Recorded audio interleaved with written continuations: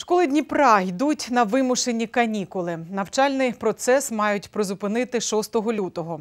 Про це на своїй сторінці у Фейсбук написав заступник міського голови Михайло Лисенко.